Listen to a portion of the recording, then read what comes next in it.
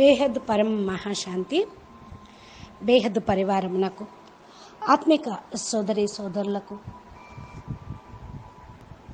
జాగృతమైన దివ్య ఆత్మలకు విశేషమైన పురుషార్థం చేస్తున్న శ్రేష్ఠ ఆత్మలకు పరం పరం మహాన్ ఆత్మలకు ఆత్మిక సోదరి సోదరులకు బాపూజీ దశరథ్ భాయ్ పటేల్ తెలుగు ఛానల్కు స్వాగతం. ఈరోజు మనం నాలుగు వందల ఇరవై తొమ్మిది లైవ్ ఎపిసోడ్ చెప్పుకుంటూ ఉన్నాము. అనంతబాయి ద్వారా జరుగుతున్న స్పీచ్ లైవ్ వీడియో తెలుగు అనువాదం. ఈరోజు టాపిక్ ఈశావాస్యోపనిషత్తులోని మిగతా భాగాలు ఏమేమి బ్రహ్మ జ్ఞానములు గురించి చెప్పారో విందాము.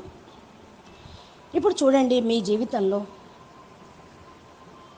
ఒక రోజుకి అర ఎనభై ఆరు వేల నాలుగు వందల సెకండ్స్ రోజల్లా ఉంటాయి. దీనిలో ఎవరన్నా పది సెకండ్స్ వేస్ట్ చేశారనుకోండి ఒక నిమిషం కానీ పది నిమిషాలు కానీ పదిహేను నిమిషాలు కానీ. ఇంకా రోజంతట్లో ఆ వేస్ట్ అయిన దాని గురించే చింతన చేస్తూ ఈ యొక్క ఎనభై ఆరు వేల మూడు వందల తొంభై ఎనభై సెకండ్స్ను వృధా చేసుకుంటారా? లేదు కదా. దీనికోసం మీరు ముందుకు వెళ్ళటం కోసం వీటన్నిటినీ కూడా మర్చిపోవాల్సి వస్తుంది. లెట్స్ గో ఎందుకంటే జీవితంలో చిన్న చిన్న విషయాలను పట్టుకొని కూర్చొని రోజులు తడబడి నెలలు తరబడి ఆర్గ్యుమెంట్ చేసుకుంటూ కూర్చుంటే ముందుకు ఎలా వెళ్తారు? బేహద్దు పిల్లల యొక్క ప్రతి ఒక్క సెకండ్ కూడా చాలా విలువైనది. అందుకని మూవ్ ఆన్ అంటూ ముందుకు వెళ్ళిపోతూ ఉండాలి. ముందుకు ఎంతంత వెళుతూ ఉంటూ ఉంటారో అంత మహిమాయోగ్యులుగా అవుతారు. అందుకని గత గత అంటూ ఉంటారు. అన్నిటినీ మర్చిపోవాలి. మీది అయితే మీ దగ్గర తప్పకుండా తిరిగి వస్తుంది. మీ దగ్గరే ఉంటుంది. అదే మీది కాదనుకోండి పోయింది. దాని గురించి టెన్షన్ ఎందుకు? ఏదైతే మీది కా కాదో అది పరాయి వాళ్ళది. అందుకని వ్యర్థమైన పనులతోటి మీ టైంను వృధా చేసుకోకుండా కొత్త కర్మ బంధన తయారు చేసుకోకుండా ఉండాలి. వ్యర్థమైన పనులకు మీ టైంను వృధా చేస్తే లేని పని కొత్త కర్మబంధనాలేగా తయారయ్యేది. అందుకని మనం ప్రతి ఒక్క కర్మను కూడా బంధనగానే చూడాలి. ఎందుకంటే మీ ఎదురుగా చెడు సిచ్యువేషన్స్ పరిస్థితులు రావచ్చు. చెడు మాటలు వ్యక్తులు రావచ్చు. ఇవన్నీ కర్మ బంధనాలుగానే మీరు చూస్తూ ఉండాలి. అప్పుడే మీరు హ్యాపీగా ఏ టెన్షన్ లేకుండా టేక్ ఇట్ ఈజీగా జీవించగలుగుతూ ఉంటారు. మానవ జీవితంలో ఉన్నటువంటి సమయం చాలా విలువైనది జీవితమే మహత్యమైనది. దీన్ని తెలుసుకోవాలి అంటే తప్పకుండా ఇలాంటి జ్ఞానం కూడా వినాలి. అప్పుడే అమరత్వము దివ్యత్వము బ్రహ్మత్వము ఈశ్వరతత్వము అన్నీ కూడా మీకు అర్థమవుతూ ఉంటాయి. మనం ఈ భూమిపైన భౌతిక కర్మలు చెయ్యాలి అంటే స్థూల శరీరం లేకుండా చేయలేం కదా? అందుకనే రాముడైనా కృష్ణుడైనా సరే మరి మనుష్య అవతారంలోకి వచ్చి కర్మ భూమిలో కర్మ చేసి చూపించారు చేసి చూపించారు చేయిస్తూ ఉన్నారు. ఇలాగే కశ్యమస్య అవతారాలు కూడా మానవ రూపంలోనే కొన్ని వచ్చినవి. అందుకనే శరీరం నాకు అవసరమైనంత వరకే సంపాదన అనేది కూడా ఉండాలి. లేకపోతే దీని వెనకాల పడి దానిలోనే ఇరుక్కుపోతూ ఉంటారు. అందుకనే గృహస్థంలో బ్యాలెన్స్ అనేది పెట్టుకోవాలి అంటూ ఉంటారు. మాయ బంధనాలను దాటుకొని అమరత్వాన్ని పొందాలి అంటే బ్యాలెన్సు బ్లెస్సింగు జ్ఞానము ఎంతో అవసరం. జీవితంలో మన శ్రేష్ట కర్మలు ఏదైతే చేస్తామో అవే అంతిమ సమయంలో జ్ఞాపకానికి వస్తూ ఉంటాయి. పరమాత్మని సదా స్మృతిలో ఉంచుకుంటే పాపకర్మల నుండి రక్షించబడతాము. పరమాత్మ నుండి కూడా మనం హెల్ప్ లైన్ పొందుతున్నాము కనుకనే ఆయనకి ధన్యవాదాలు చెప్పాలి. భగవంతుడు మనకు ఏమి చేయాలి ఏమి చేయకూడదు అనేటువంటి కూడా నేర్పుతూ ఉన్నారు. బాపూజీ కూడా బేహద్ జ్ఞానం చెప్తూ ఉన్నారు. మనం మన యొక్క డ్యూటీ చేయాల్సిందే. కాబట్టి మనము తెలుసుకోవాల్సింది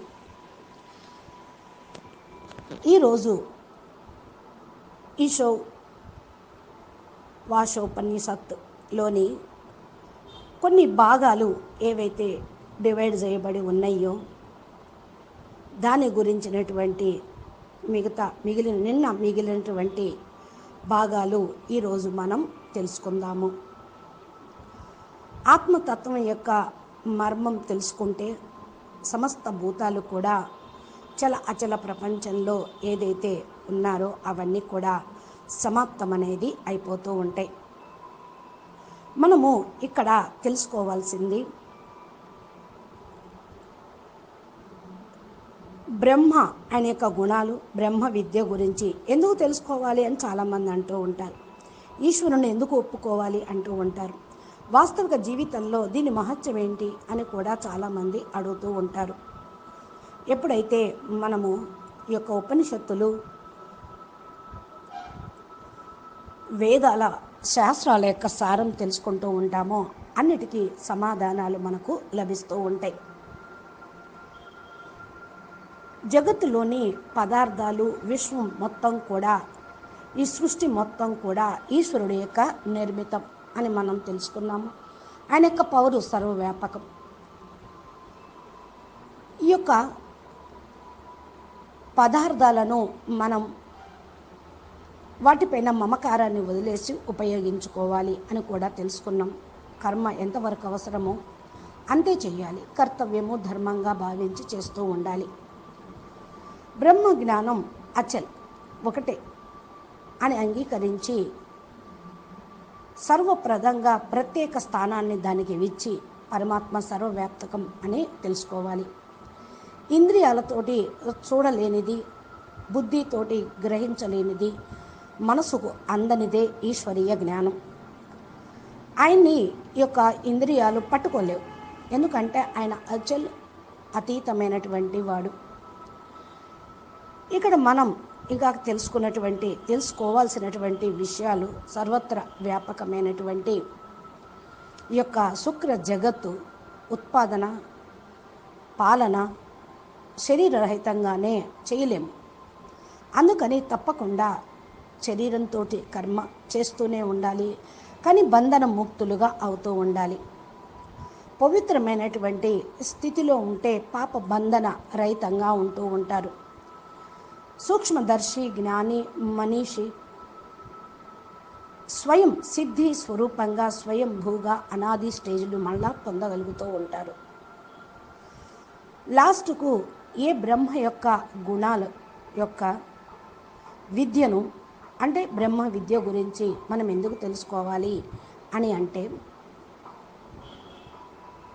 మన యొక్క వ్యక్తిత్వము కేవలం మానవ మాత్ర యొక్క జీవితం కోసం కాదు పరబ్రహ్మను పొందటం స్వయం యొక్క ఆత్మస్వరూపాన్ని తెలుసుకోవటం. దీని యొక్క వర్ణన జ్ఞానం యొక్క ఆధారంతో మనకు వేదశాస్త్రాల్లో చెప్తూ ఉన్నారు. అందుకనే బ్రహ్మ యొక్క గుణాలను తెలుసుకొని అంటే ఆత్మ లైట్ పర బ్రహ్మ స్వరూపం యొక్క జ్ఞానాన్ని తెలుసుకొని సమస్త ప్రపంచాన్ని ఈశ్వరీయ ప్రపంచంగా అంత ఆత్మమయంగా గుర్తించాలి. సమస్త విశ్వము ఏకత్వంగా భావించినప్పుడే ఈశ్వరుడు లేక ఆత్మతత్వము ఏకత్వమును గ్రహించినప్పుడే వసుదైవ కుటుంబకం వసుదైవత్వము అనేది కూడా మనకు వస్తూ ఉంటుంది. విశ్వ సౌభ్రాతృత్వం లభిస్తూ ఉంటుంది.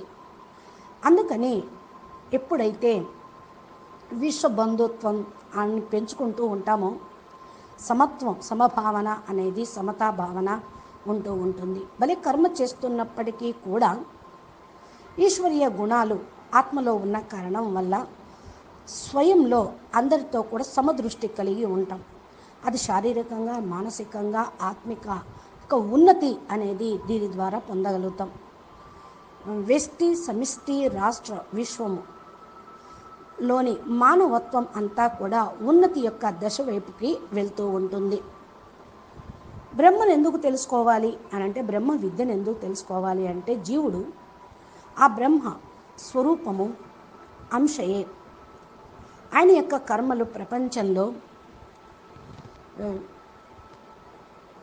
సమిష్టిగాను వ్యక్తిగతంగాను కూడా యోగదానమయ్యి ఉంటుంది. ఉపనిషత్తుల యొక్క వర్ణన కూడా దీని గురించే ఎక్కువగా ఉంటుంది.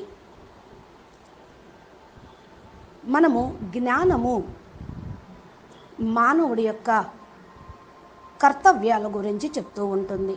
మానవుడు ఏ ఏ కర్తవ్యాలు ఎలా చేయాలి? విద్య అవిద్య అంటే ఏంటి? కర్త భావనతోటి కాకుండా డ్యూటీ భావనతో చేస్తూ ఉంటే మృత్యువు అమరత్వము అనేది మనకు అర్థమవుతూ ఉంటుంది. అమరత్వం వైపుకు వెళ్ళగలుగుతూ ఉంటూ ఉంటారు. అప్పుడు వ్యవహారికంగా కూడా సమిష్టిగా ఈ జగత్తు మొత్తంలో కూడా సౌమ్యత అనేది వస్తూ ఉంటుంది. ఇక్కడ ఆంతరిక శారీరక ఆత్మిక భావన రెండింటిని గురించి తెలుసుకోవాలి. జ్ఞానము విజ్ఞానము. ప్రొఫెషనల్ జ్ఞానం ఆది నుండి అద్భుతమైనటువంటి కర్మ వరకు విద్య ఆత్మవిద్య అనేది కూడా అర్థమవుతుంది. జ్ఞానము వాస్తవికము. మానవీయత యుక్తమైన ఈశ్వరీయ జ్ఞానము నే వాస్తవికాన్ని అని అంటూ ఉంటారు.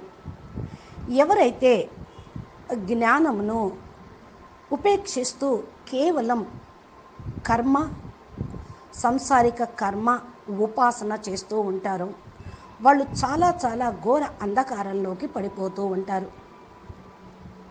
అంటే భ్రమలో పడిపోతూ ఉంటారు. వివిధ కష్టాలను సంసారిక ద్వంద్వత్వంలోనూ ఇరుక్కుపోతూ ఉంటారు. కర్మ యొక్క ఉపేక్ష కేవలం జ్ఞానంలోనే ఉంటూ ఉంటే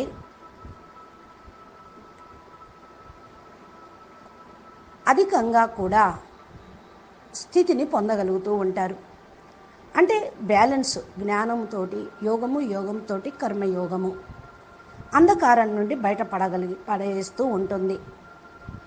విద్య అనగా జ్ఞానము మరియు దాని యొక్క ప్రతిఫలమును పొందటం అనేది కూడా ఉంటుంది. అయితే కోరిక పెట్టుకొని జ్ఞానాన్ని విద్యను అభ్యసిస్తే అది అవిద్య అవుతుంది.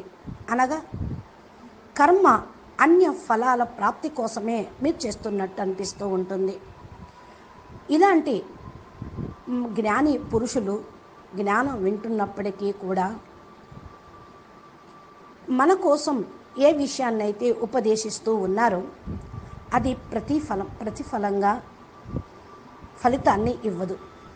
ఏ విద్య అయితే అవిద్య అనగా జ్ఞానము కర్మ రెండు పక్క పక్కన తెలుసుకొని రెండింటినీ చేస్తూ ఉంటారో అంటే ప్రవృత్తిలో ఉంటూ ఉంటారు కర్మతోటి ప్రపంచంలో ఉచితమేంటి అనుచితమేంటి అని తెలుసుకుంటూ ప్రవృత్తిలో బ్యాలెన్సింగ్గా జీవిస్తూ ఉంటూ ఉంటారు. వాళ్ళు మృత్యు పైన విజయాన్ని పొందగలుగుతారు. అంటే విద్య అనగా జ్ఞానం యొక్క మార్గంలో ప్రవృత్తమై సత్కర్మల ద్వారా అమరత్వాన్ని పొందటము. అమృతం ఏంటి? అమృత ప్రాప్తి ఏంటి? కర్మ లేక జ్ఞానం ఏంటి? శరీరంలో మనకు ఇంద్రియాలు ఉన్నాయి జ్ఞానేంద్రియాలు కర్మేంద్రియాలు ఉన్నాయి. రెండు రకాల ఇంద్రియాలు ఆత్మ కలిగి ఉంటుంది. మనసు ద్వారా ఈ ఇంద్రియాల సమన్వయత్వంతో జీవుడు కర్మలో ప్రవృత్తిలో ఉంటూ ఉంటే ప్రవృత్తిలో ఉంటూ ఉండాలి. కేవలం ఒకే రకమైన ఇంద్రియాల ద్వారా జీవితుడు జీవుడు ఉచితమైనటువంటి కర్మల్లో ఉంటే ప్రవృత్తిలో ఉన్నట్లు కాదు. అంటే బ్యాలెన్సింగ్లో ఉన్నట్టు కాదు. అందుకని తప్పకుండా జ్ఞానము మరియు కర్మ రెండు రకాలుగా తెలుసుకొని తోడు తోడుగా వీటిని ప్రయోగం చేస్తూ ఉండాలి. అప్పుడే ఏ కర్మ ఏ క్రియ కూడా ప్రవృత్తిలో సత్ప్రవృత్తి సత్కార్యంగా ఫలీభూతం అవుతూ ఉంటుంది. సిద్ధాంతంని తెలుసుకోకుండా కర్మ చేస్తూ ఉంటే అది ప్రయోగిక కర్మ కాకుండా కేవలం కర్మ చేస్తూ ఉన్నట్లు అనిపిస్తే అది జ్ఞానం. దాని యొక్క జ్ఞానం కూడా వ్యర్థమే. జ్ఞానం యొక్క కార్యక్రమంలో పరిణతి పొందటము మానవ జీవితం యొక్క లక్ష్యము. కేవలం జ్ఞానం మాత్రంగా జ్ఞానంతో ఏ ఫలితము ఆశించకూడదు. కేవలం కర్మతోటి అంధకారంలో పడిపోకుండా జ్ఞానంతో మరియు ఇంకా అంధకారంలో ఉండటము కూడా ఉండకూడదు. జ్ఞానంతో కర్మ చేయాలి దాని మహత్యాన్ని తెలుసుకోవాలి. జ్ఞానం లేకుండా కర్మ సరిగ్గా సరైన విధి విధానంగా మీరు చేయలేరు. ఈశ్వరీయ జ్ఞానం లేకుండా కర్మలు అన్నీ కూడా నిరుద్దేశమైనటువంటి కర్మలుగా అవుతాయి. ఇవన్నీ ఈ రోజుల్లో అందరికీ కనిపిస్తూనే ఉన్నాయి. ఎందుకంటే ఈశ్వరీయ జ్ఞానం లేక మిడిమిడి జ్ఞానం సైన్స్ జ్ఞానం అంటూ మరి శస్త్రాలని అస్త్రశస్త్రాలని అపాయకరమైనటువంటి ఘాతకంగా చేసేటువంటి కర్మలకు అణువాయుధాలు అణు అస్త్రాలు శస్త్రాలు తయారు చేస్తూ ఉన్నారు. కేవలం ధనం కోసమే భ్రష్టాచారత్వం అత్యాచారము అనాచారము బలాత్కారం మొదలైనటువంటి కర్మలు కూడా చేస్తూ ఉన్నారు. ఇవన్నీ కూడా వికర్మలు వికారాల దుష్కర్మల యొక్క ప్రతిఫలం. ఇవే ఆత్మని మృత్యు వైపుకు తీసుకొని వెళ్తూ ఉంటుంది.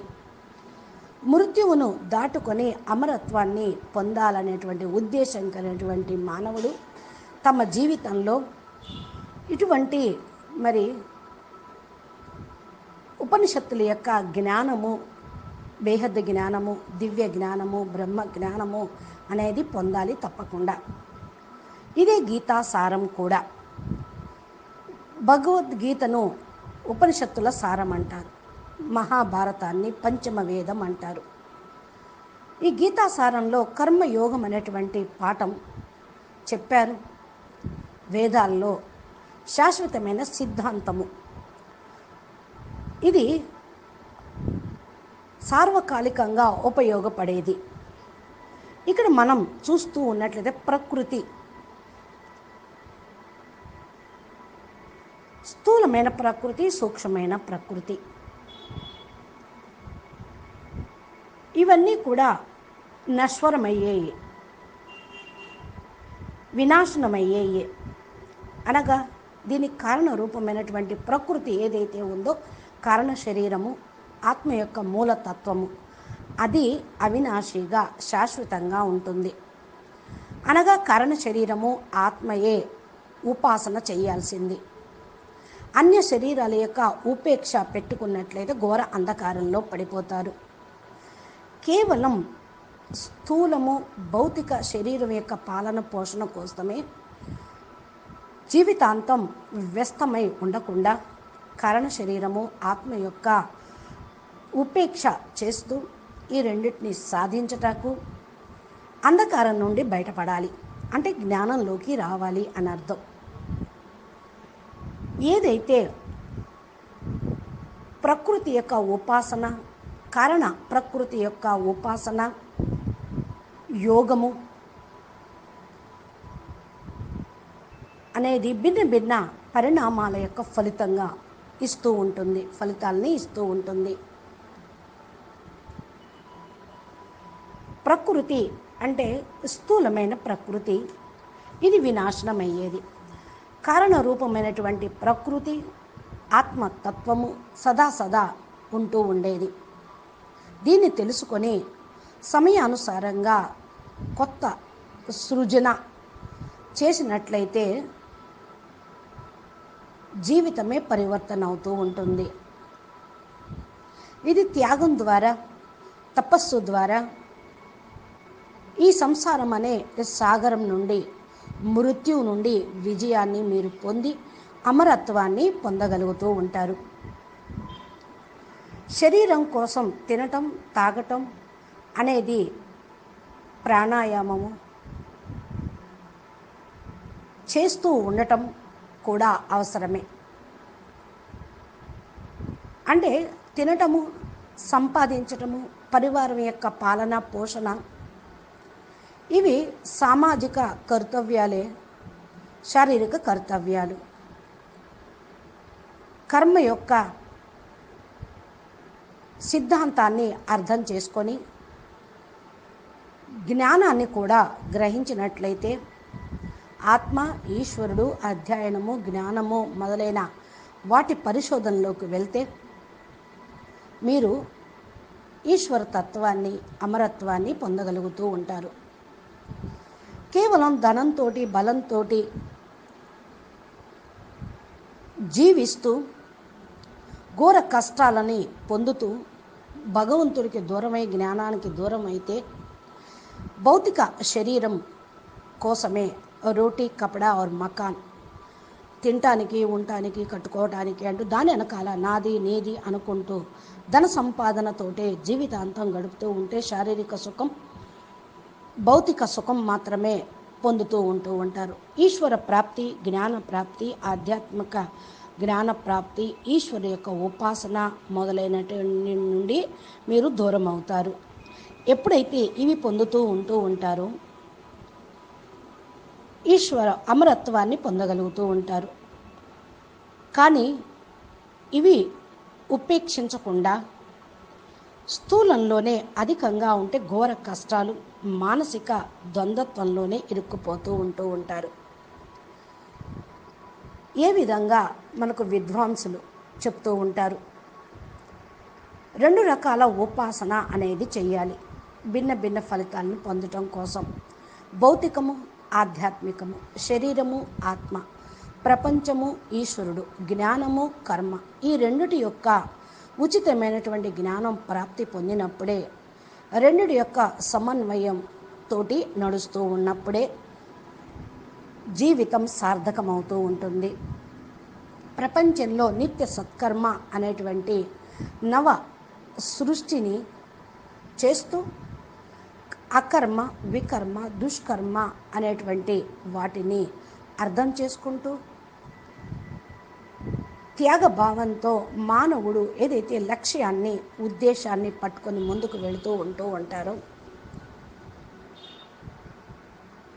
వాళ్ళు అమరత్వం వైపుకి వెళ్తూ ఉంటారు. లేకపోతే మృత్యు వైపుకే నడుస్తూ ఉంటారు. ఈ ప్రపంచంలోని ద- ఉన్నటువంటి మృత్యువును దాటుకొని వెళ్ళటమే అమరత్వం. ఇది సార్వకాలికంగా అనుశాసనం అయినటువంటి నియమం. విద్య అవిద్య జ్ఞానము కర్మ భౌతిక ప్రపంచము ఆత్మిక జ్ఞానము సమన్వయంతో ఉత్తమ ఉచితమైనటువంటి సత్కర్మ చేయటంతో అకర్మల నుండి దూరంగా ఉంటూ ప్రకాశం వైపుకి పరం ప్రకాశం వైపుకు మీరు ప్రయాణం సాగించగలుగుతారు. ఎలా? ఈ యొక్క బ్రహ్మ విద్యను పొందవచ్చునో? అది మీరు కరెక్ట్గా సరైనటువంటి దిశలో వెళ్ళినప్పుడే మీకు అది లభిస్తూ ఉంటుంది. మీ యొక్క కర్మలతోటి సమాజాన్ని మానవతను ప్రగతి వైపు కూడా తీసుకొని వెళ్ళగలుగుతూ ఉంటారు. కాబట్టి ఏ విధంగా ప్రపంచంలో సత్యం దాగబడదు. లక్షల సాధనాలు ఉన్నాయి. కానీ మానవులు దాన్ని కోసమే పరుగులు తీయడం కూడదు. అనగా చమక్ దమక్ మెరుపులు తళుకులు బెరుకులు మాయా ప్రపంచము ఆ అట్టహాసము ఆర్భాటము వస్తువులు ధనము సుఖ సంపత్తి ప్రలోభన మానవుణ్ణి సత్యం నుండి దూరం చేస్తూ ఉంటుంది. సత్యమును అవగతం కానివ్వదు. ఆ సత్యం గుని తెలుసుకోవటానికి ఆ మార్గం అనుసారంగా నడుస్తూ స్థూలం నుండి విముఖంగా అయితే అకర్మలు దుష్కర్మల నుండి విముఖంగా అయితే సత్కర్మ ఏమిటో మీరు తెలుసుకోగలుగుతారు. సత్యం ఏమిటి? అసత్యం ఏమిటి? ఈ రెండిటికి ఉన్న తేడా అంటే అవినాశి వినాశి అనేది తెలుసుకోవాలి. సత్యము ఒకదాని పేరు కాదు అది అస్తిత్వము. ధర్మము మూల కర్తవ్యము అది కూడా తెలుసుకోవాలి. మహత్వపూర్ణమైనటువంటి వస్తువు యొక్క ఆవరణ రహితంగా ఆత్మ గొప్పగా ఉన్నప్పుడు మానవుడు సత్యం పైకి అనగా అవినాశి వైపుకు ప్రయాణం సాగించగలరు. ఆత్మ పైనటువంటి ఆవరణలన్నీ తొలగించుకొని కర్తవ్య మార్గంలో నడుస్తూ ఉంటారు. అప్పుడే సమస్త కార్యక్రమాలు ఉద్దేశపూర్ణంగా సఫలమవుతూ ఉంటాయి. వాస్తవంగా మానవుడు ఈశ్వరుడి యొక్క గుణాలు కలిగిన వాడే. ఆయన యొక్క విశేషతలు కలిగిన వాడే.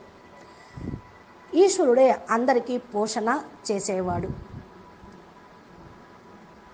కానీ ఆ యొక్క విశేష గుణాల కారణం వల్లే ఈనాడు కూడా మానవత్వం అనేది ఆత్మలో కొద్దిగా పవర్ అనేది ఉన్నది.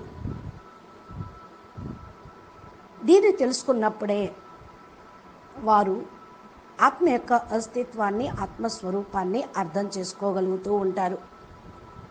నేనే ఆయన్ని మై వహీహు తు వహీహై. అంటే ఈశ్వరుణ్ణే నేను నేనే ఈశ్వరుణ్ణి. అంటే శివోహం అహం బ్రహ్మస్మి అని తెలుస్తూ ఉంటుంది. శరీరంలో వచ్చేటువంటి జీవము అనగా శక్తి ప్రాణము. తేజము ఆత్మ. ఇది అమరమైనది. కానీ శరీరము స్వయంగా భావించి భ్రమితం భ్రమిస్తూ ఉంటే అది మృత్యు. నాశవానైపోతుంది. ఆ సమయంలోనే జీవుడు ఓం అనగా ఈశ్వర స్మరణ చేస్తూ మనసుని నిర్భరత నుండి శక్తిశాలిగా తయారు చేసుకొని మృత్యు భయంని దూరం చేసుకొని ఈశ్వరుడు యొక్క స్మరణ చేస్తూ ఉంటే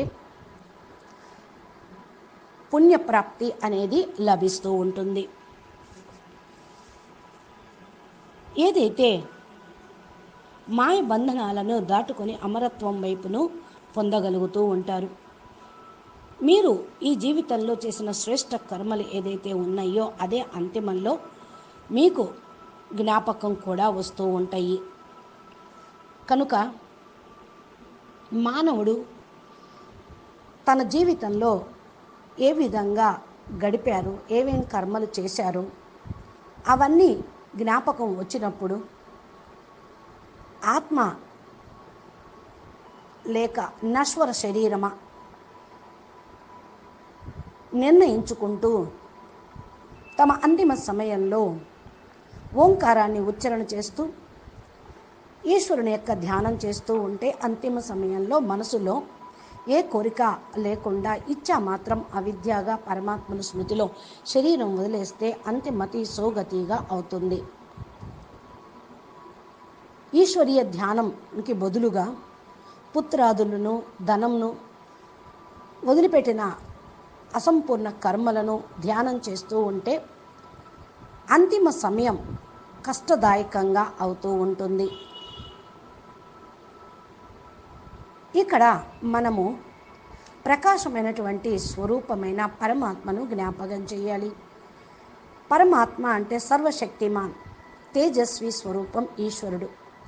తన సంపూర్ణ కర్మలను తెలుసుకున్నటువంటి జీవుడు. మనము ఐశ్వర్యము అనగా ఉచితమైనటువంటి జ్ఞానము.